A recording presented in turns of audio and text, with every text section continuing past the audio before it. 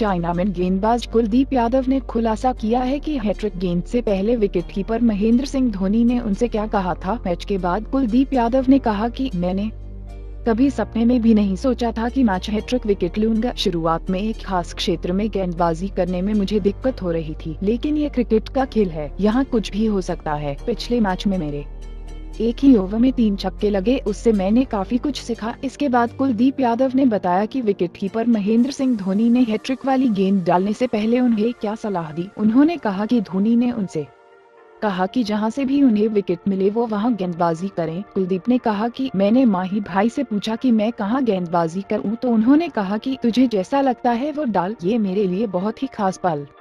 इस हैट्रिक ने खेल का रुख भारत की तरफ़ मोड़ दिया। मैं काफ़ी गौरवान्वित महसूस कर रहा हूँ। आपको बता दें, दूसरे एक दिवसीय मुकाबले में कुलदीप यादव की शुरुआत अच्छी नहीं रही थी। सात ओवर तक उन्हें एक भी विकेट नहीं मिला था। ग्लेन मैक्सवेल ने उनकी गेंदों पर शानदार छक्का जड़ा इसके बाद उनका छोर बदला गया। छोर बदलने के बाद कुलदीप यादव की गेंदबाजी में अचानक पेनापन आ गया। उन्होंने एक ही ओवर में मैथ्यू वेड एस्टन एग और पैट कमिंस को आउट कर अपनी हैट्रिक पूरी की। ऑस्ट्रेलियाई टीम एक समय मजबूती से लक्ष्य की तरफ़ आगे बढ़ते दिख रही थी, लेकिन कुलदीप यादव की बेहतरीन हैट्रिक ने भारतीय टीम को मैच में वापस ला दिया। अंत में भारत ने 50 रनों से मैच जीता।